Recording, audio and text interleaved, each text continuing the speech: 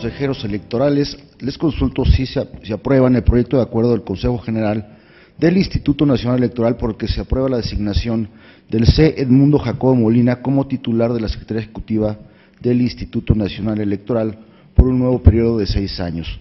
Tomando en esta votación, pues, por, supuesto, eh, considerando lo que solicitó la consejera Zavala y el consejero Baños, de fortalecer la motivación del acuerdo, eh, tomando en cuenta las participaciones que aquí se vertieron.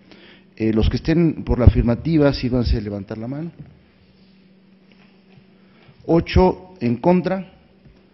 Son tres. Eh, Consejo Presidente, se aprueba la designación mencionada por ocho votos a favor y tres votos en contra. Esta Secretaría procederá a realizar el engrose correspondiente. Gracias, señor secretario, señoras señores consejeros y representantes. Se agotó el asunto eh, único del orden del día, por lo que le agradezco a todos ustedes su presencia. Muy buenas tardes. Se levanta la sesión.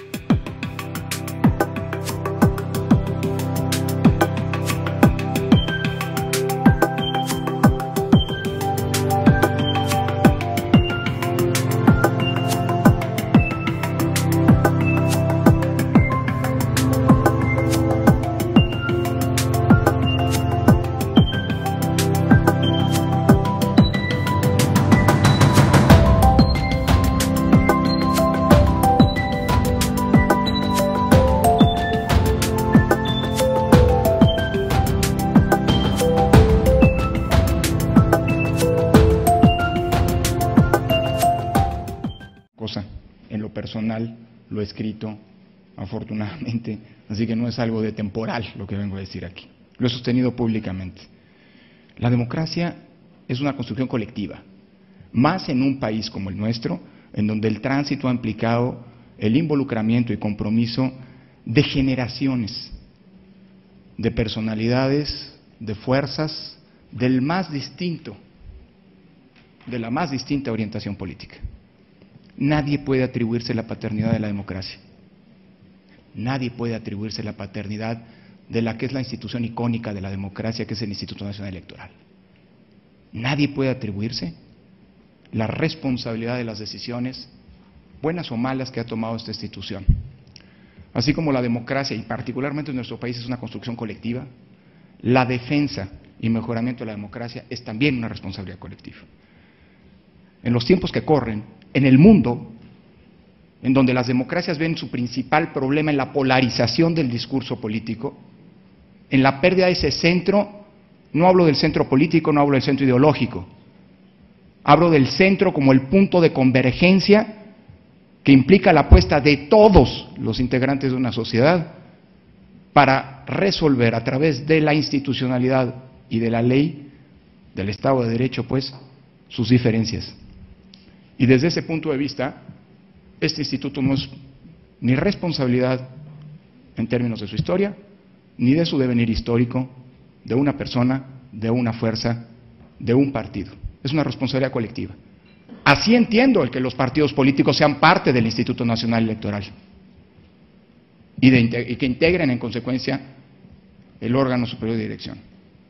Creo que de cara al desafío democrático que estamos enfrentando, no solo las decisiones hacia dónde vamos a llevar esta institución, sino también la preservación de las elecciones, de la institucionalidad electoral y por ende de la democracia, suponen e imponen a todos altitud de miras y corresponsabilidad. Desde ese punto de vista, creo que volver a entregarles, pienso en el INE, como es ente colectivo, a las y los ciudadanos, un proceso impecable como ha venido ocurriendo en los tiempos recientes, en 2021, es también una responsabilidad colectiva. Desde el punto de vista de la presidencia, de las decisiones que tendremos que tomar en ocasiones complejas y que nos llevarán eventualmente a divergencias, a impugnaciones si fuera necesario para que existe un orden constitucional en esta materia, la mejor disposición a seguir construyendo colectivamente. Eso supone la apuesta por ese centro, del que depende, ese centro, ese punto de convergencia, ese punto de encuentro del que depende la subsistencia, defensa y consolidación de nuestra democracia.